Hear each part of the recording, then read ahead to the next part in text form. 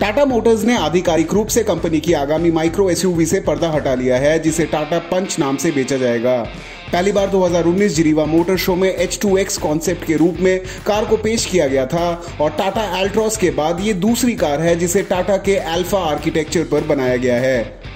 नई Punch company की impact 2.0 design language पर बनाई जा रही है और टाटा के लाइनअप में इसकी जगह नेक्सॉन सब कॉम्पैक्ट एसयूवी से नीचे की होगी।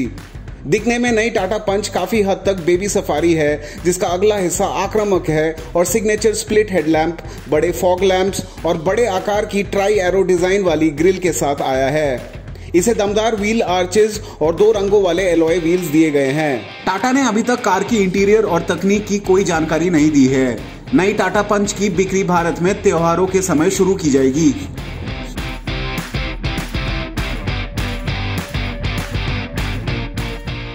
मर्सिडीज बेंज इंडिया ने एक नई एएमजी कार अपने पोर्टफोलियो में जोड़ी है, जहाँ दो करोड़ सात लाख रुपए एक शोरूम कीमत के साथ मर्सिडीज एएमजी जेली 63 एस फोरमैटिक देश में लॉन्च की गई है। नई कार भारत में पहले से बिक रही Mercedes M AMG GLE 53 फोरमैटिक plus का साथ देगी, जिसे दमदार चार लीटर टर्बोचार्ज V8 इंजन दिया गया है, जो 604 बीएचपी ताकत और साढ़े आठ सौ एनएम पीक टॉर्क बनाता है। इस इंजन को 9 speed A speed shift transmission दिया गया है। सिर्फ़ 3.8 सेकंड में ये एसयूवी शून्य से 100 किलोमीटर प्रति घंटा रफ्तार पकड़ लेती है।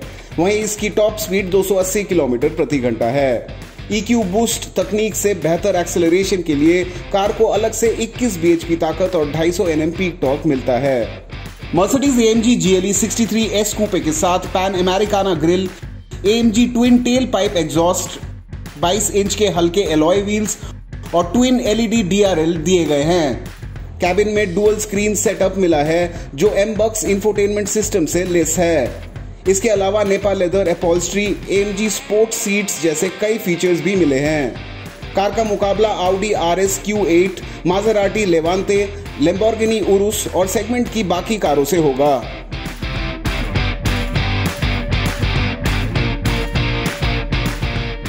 हाल ही में launch Simple One electric scooter को ऑनलाइन काफ़ी पसंद किया जा रहा है और अब कंपनी ने बताया है कि इलेक्ट्रिक स्कूटर के लिए तीस हज़ार से ज़्यादा बुकिंग मिल चुकी है।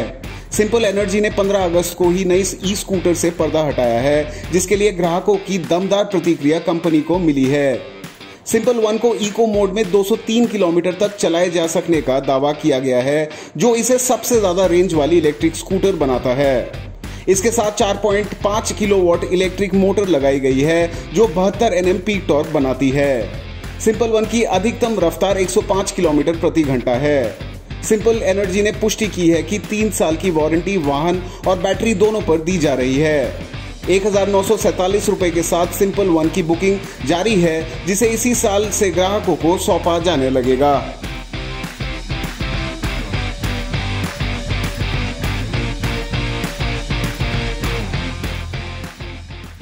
आई होप कि आपको ये वीडियो पसंद आया। आप हमारे चैनल को सब्सक्राइब करना ना भूलें।